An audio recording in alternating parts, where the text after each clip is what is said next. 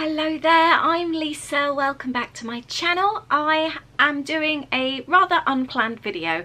I was about to um, document in my traveler's notebook and um, I thought I would video it. I've got a few different ideas and I'm trying something a little bit new so I thought I would do it on video. Um, it's always nice to share ideas and I know I certainly like um, finding new ways of doing things by watching other people's videos and seeing what others are doing. So um, I'm sharing here today as well.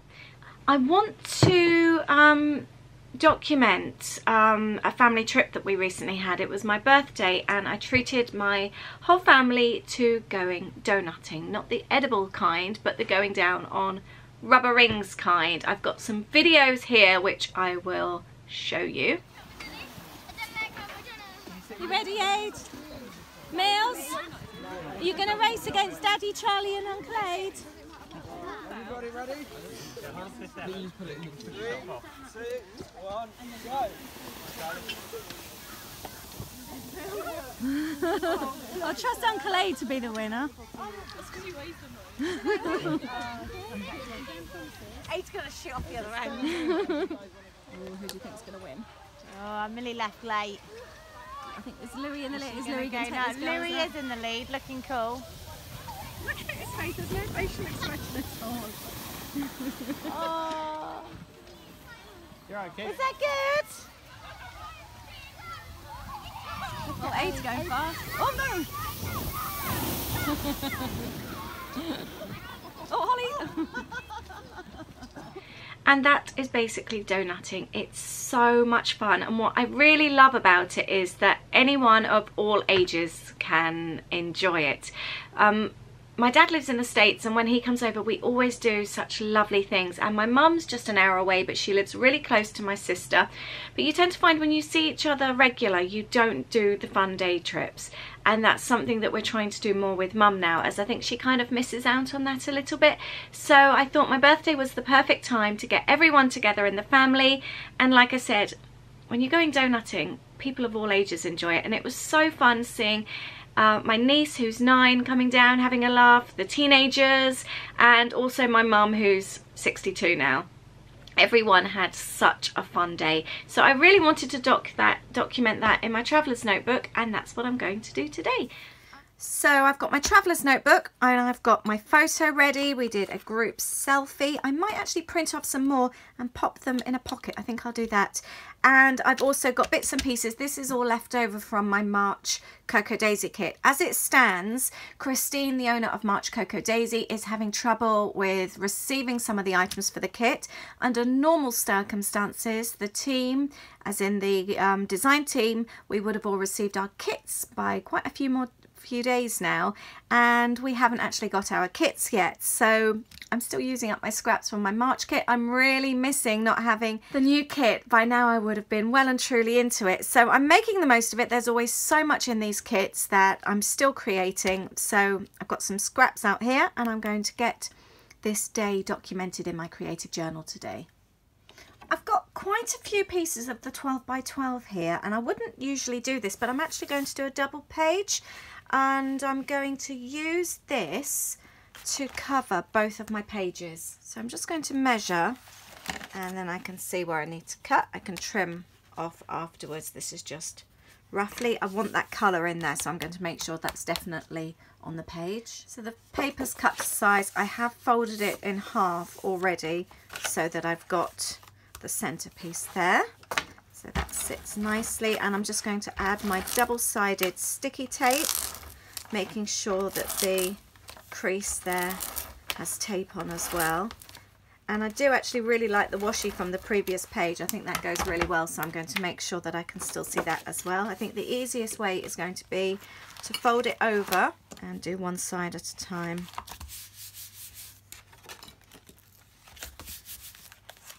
There we go, I've got a nice double page now. And the seam feels, the crease feels really good. So I'm happy with that. And I can just trim the corners. The idea that I want to try out, I've got this left over. This was from the chipboard clouds. Um, they weren't overly sticky, so I'm removing them, but they're not going to stick anywhere. I did have to use glue and tape to hold the clouds and raindrops in place. So I'm quite happy to remove these. Actually, let's take all of that off. But I wanted to use the negative here as a stencil. Um, it was a rainy day, so I thought this in the background could possibly work quite well. So um, I've used chipboard before, the negative of chipboards before, so I thought I would give this a go as well. I'm going to pop that on here. Actually, it does stick quite nicely, which is quite nice. It holds it in place. And I'm going to grab an ink spray and see how this works. Let's give this a whirl. I'm going to use mustard seed, a distress stain. I do need to hold it down slightly as it's not quite sticking. And let's see how this works. Ooh, I like that. That's cool. That's so cool. And I'm going to do some more down here.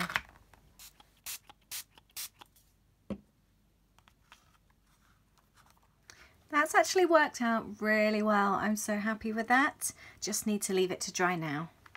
So it's still a little bit wet, so I'm just going to blot it and help drying up a little bit. Reminds me of being at school. Whoops, I smudged that one. Reminds me of being at school with the blotting paper and ink pens. Actually, that was okay in the end. That's dried off quite nicely. Yes, I'm quite happy with that. I'm really pleased. That's so cool. Right, I've still got this left from my Cocoa Daisy kit and I figured I'm going to use this. I quite like the green actually. I don't know. I'm going to use both sides I think. But seeing as these are all my favourite humans in the world, I'm going to use that I think down there. So I've got some washi tape here. I think this was in the classified kit if I remember right. And I'm going to add this to my book. So let's do outside like that. And then I want to see both sides like that. And then it can flip both ways. There. And as it only says human and not humans, I'm going to add the stickers here, which I still haven't actually opened from the kit, Cocoa Daisy stickers and I'm going to add a couple of S's to make that plural and that will do nicely. I'm going to add the March card from the pocket kit as March is my birthday month and that's when we all got together. Pop that there. And then add the photo. Actually, let's bring that down slightly. And then I've cut these leaves. These were all left over, very much scraps from this piece of paper here. And I've actually cut around, so this was the end. Um, and I can still use them. Actually, that'd be quite nice like that. And just where obviously the piece is missing from the end of the paper, I'm just letting that run along the side of my um, patterned paper, or sorry, of my page, so it's not actually ruined. Got this one here as well. Where can this one go? Hmm, that one's not going to work quite so well. Actually, do you know what I can do? I could do that and fold it.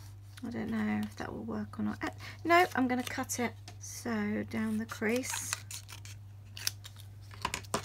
And that will work like that.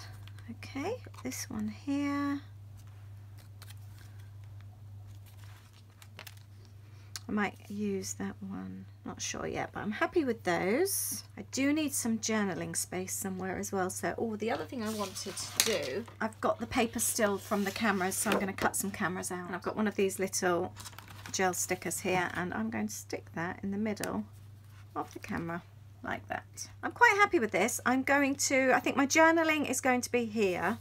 And I've also, I was going to include some donutting photos, but actually I am. I'm going to pop them in here like that.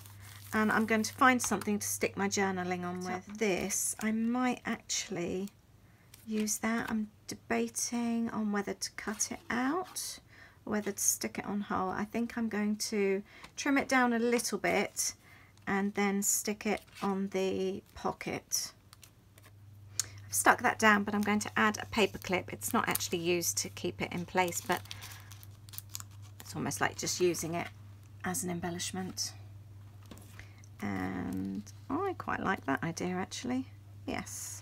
I will add some tape just so it holds it in place. Oh, I need to make sure that I can still see the wording. There. Then it ties the two pages in together as well, which I like. I did want to use the tab top here and another down there. And I'm going to use the Evalicious stickers to put together, so enjoy the little things together at the bottom of the pocket.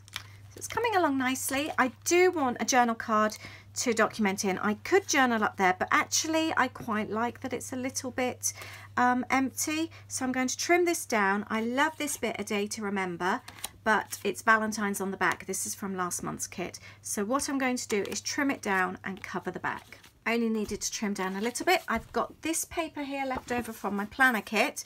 I love this side, so I'm going to stick it down on this side and that will be the reverse. To, oh, corner punch each corner.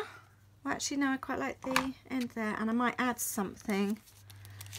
I might just add a hole to the top so that it's obvious that it needs to pull out. And I'm just going to take the string from the Day in the Life kit, the pocket kit, and I've made myself a little journal. Journaling's done.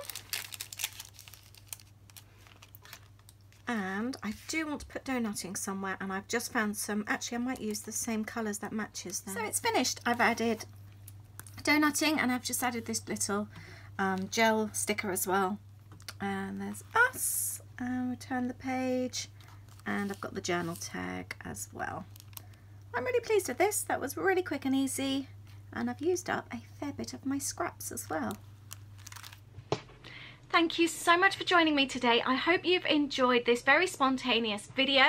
It's been really fun creating and let me know how do you use the scraps that you're left over with. If you have a kit or if you buy something online, any paper or anything like that, what do you do with your scraps? Do you tend to hoard them?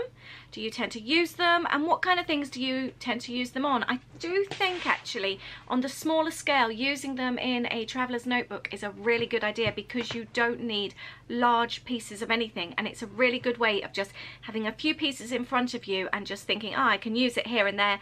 And it works really well. I'm really enjoying my traveler's notebook more and more and I'm using it more and more. And things like using up scraps seems to be the perfect way Thank you very much. Please let me know if you've enjoyed this video. Please give me a thumbs up and please subscribe so you don't miss any future videos. I will see you soon. Bye.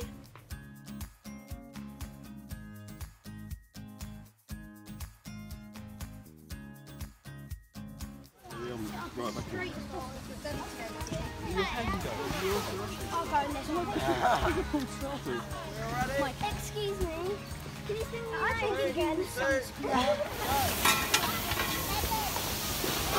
do you want us to wait for you? Do you want us to wait for you? No, look at the. Who's going to be the winner? Oh.